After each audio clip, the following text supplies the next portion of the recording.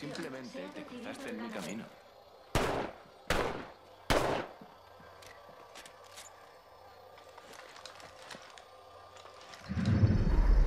Sois los campeones de Apex.